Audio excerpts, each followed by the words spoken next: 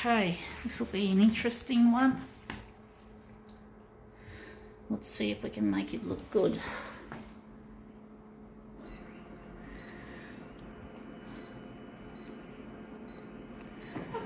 Wondering how big we're to make it.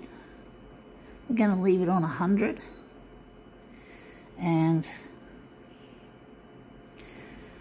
to add a background colour. It's either to be blue or cyan. Cyan. And just to add more contrast. Lessen up the copy density. We'll just see how we go with this.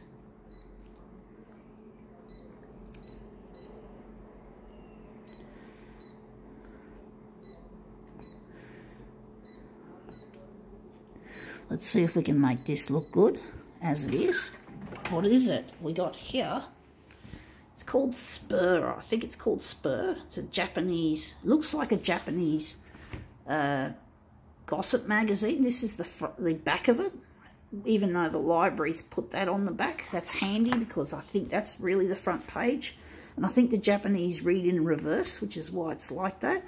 So we're just going to put this on the glass especially her face, we're going to slide it.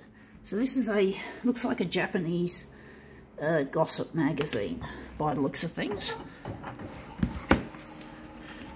Okay, let's see how that went.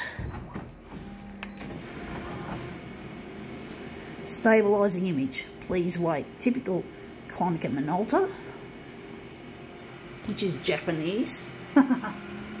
let's see how we go with this.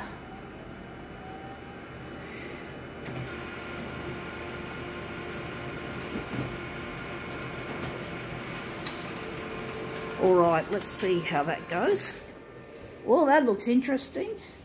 You can't see much of the background colour, except on her teeth. Just there and, yeah, that's mainly where it went, on the teeth. So we've given her a bit of, but it's a nice picture that we've made. Now we can't throw this on the recycle pile or give it away. This is a library book. So we're just going to return it to the library soon. And let's see what we're going to do with this I sort of regret putting in the background colour in a way, but maybe it's not such a bad thing. Uh, we're just going to remove it now. And we're going to maybe take out some take out the contrast and maybe maybe we're going to leave it light so let's see what we can do with this and I think the center of this job is almost certainly going to be here. going to be there to make this interesting uh, magazine.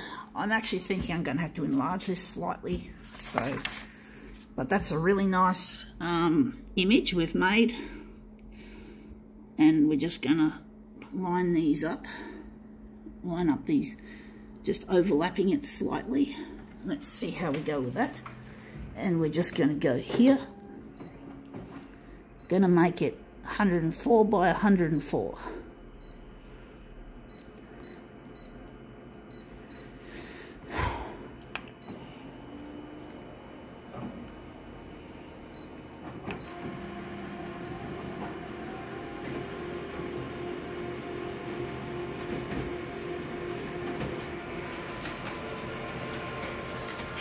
Alright, that's the first one out. Whoa, that looks a bit hot. It looks a bit hot for my liking, uh, but it makes that look sort of iridescent. So I'm wondering what we're going to do, if we're going to lighten it. So we're going to see what we're going to do. Going to lighten it off. And we're just going to add some more lightness to that.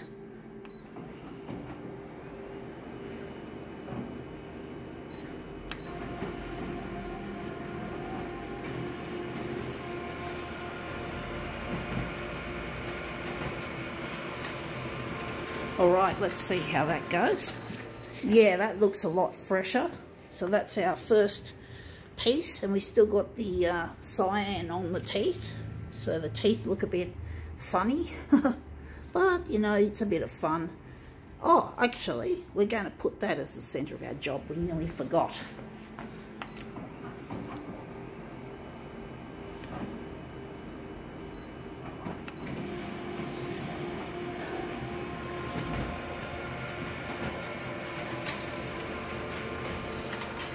All right, out it comes. So let's see how that looks as the two images get put together in the opposing corners.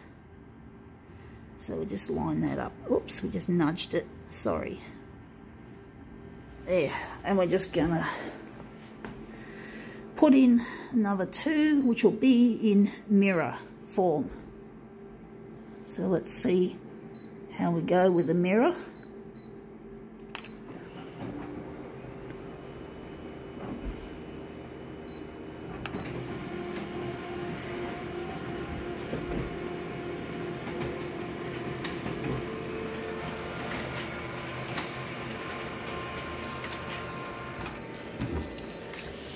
Right, out it comes. Now it's time to line up the pieces. So we're just going to line these up.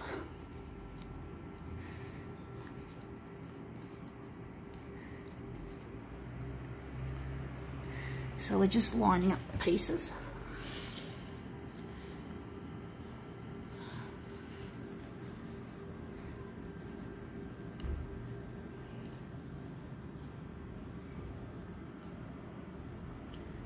All right, now that looks interesting. I think now we can call this demo quits.